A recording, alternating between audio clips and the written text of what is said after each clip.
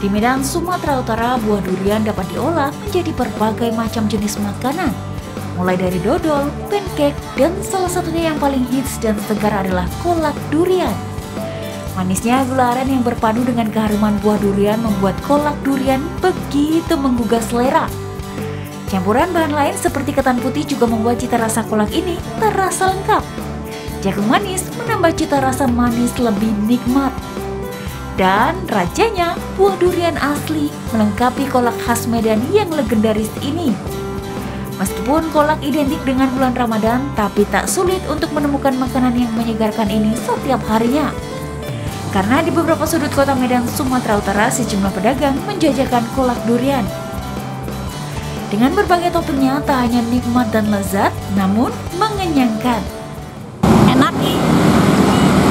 Apa bedanya sama kolak-kolak lain kak? Uh, ini ada agak beda karena ada duriannya, ada pisang, ada ada jagung. Pas lah kalau buat sore-sore misalkan terasa duriannya ada beberapa tadi di dalam uh, dan pas rasanya nggak nggak pahit nggak apa enak kok. Harganya tentu tak menguras kantong. Mulai dari Rp10.000 sajian segar dan nikmat bisa Anda nikmati.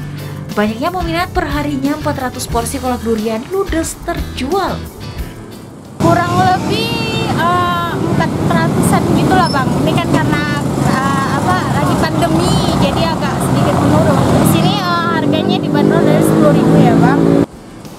Es kolak durian ini menjadi salah satu kuliner yang diburu oleh masyarakat termasuk wisatawan yang berkunjung ke kota Medan. Karena durian cukup melimpah di kota Medan, maka Anda pasti akan dapat menikmati buah durian yang masih segar dan fresh dengan berbagai olahannya. Manis dan segarnya kolak durian dengan harga terjangkau tentunya bisa memanjakan lidah Anda tanpa menguras kantong Anda. Dari Medan, Sumatera Utara, Ahmad Ridwan Nasution melaporkan.